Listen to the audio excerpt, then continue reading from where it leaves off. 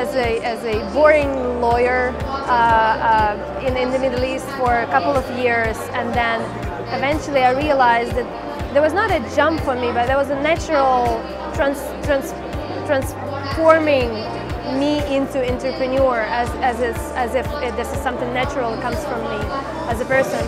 Uh, because I was always dreaming of having something uh, for people with them, like doing something meaningful um, for, for uh, community. And so we started the Legal Advice as the first, uh, just a place where lawyers will reply to legal questions and have um, you know, this communication tool available for them, free of charge, open source. And this is where we started. Um, and now we are a long way from that place, but there's still so many things that we can do and we are working on.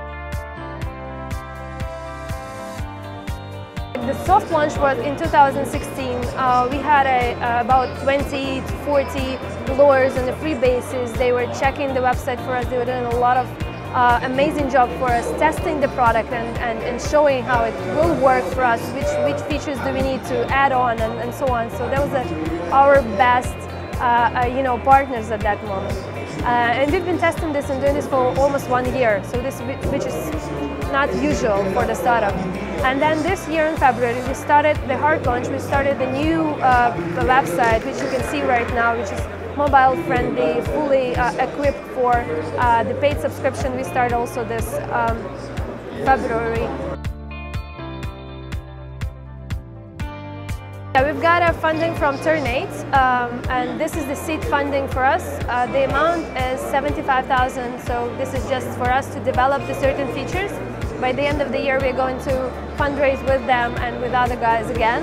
Once we've shown that hockey stick and, and you know, probably uh, the new features that we are working on. What makes us different? That product was made by the lawyer for lawyers, but in the same time for customers. So I am on the on a on a side of the customer right now, and I, and I've been always there. I've been always thinking about how would I want the legal services made for me, or you know tailored for me.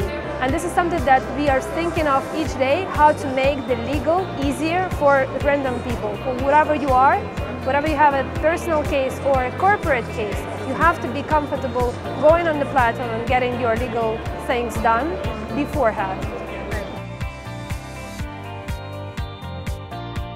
We have uh, two revenue, uh, revenue streams on the platform. So first is the subscription from the lawyers, uh, and second one, which we're working on, is the transactional uh, fee. So the automation of the documents we are working on so, for example, you are a startup and you need a, a document or a set of documents and the legal consultation along with it.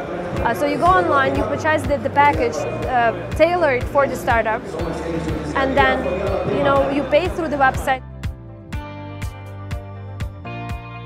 Yeah, we are working on this new packages uh, created for SME startups, entrepreneurs. We are working on uh, packages for families. Uh, we are working for um, having different uh, diverse legal services available online and also something which is the next step for us in general but we are thinking of it and we are still you know developing that space for us to step in is the artificial intelligence component for our website. So probably uh, in the future you will have your contract reviewed by the artificial intelligence, not by the lawyer, which will make the things much faster and more uh, efficient for, for you to get help from. I believe every startup saying that legal comes on later stages. So first we are thinking about our startup, our technology, our website, our design or whatever. But the legal is the fundamental of any company, of any uh, you know entity that you have. Before you have anything on the market, please do the IP. Please consult with the lawyer. In front of investor, you will look professional if you will have set the documents. Like even the terms and, and um, you know terms and conditions for a website need to be done beforehand, before even you you know you set your website for online.